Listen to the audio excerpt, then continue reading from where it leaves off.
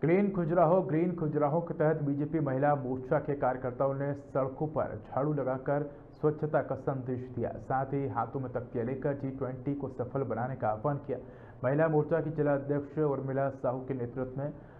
पाहिल वाटिका से स्वच्छता जागरूकता रैली निकाली गई।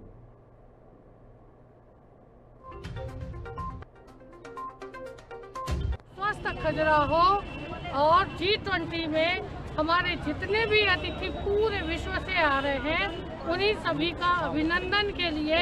मैं पूरे खजुराहो के जनमानस से करबद्ध निवेदन करने आई हूँ, अपील करने आई हूँ, निवेदन करने आई हूँ कि हमारे परम सम्माननीय, परम आदरणीय प्रदेश अध्यक्ष जी, श्री बी डी भाई साहब जी ने जो यहाँ स्वच्छता का मिशन चलाया है, उसको सफल करने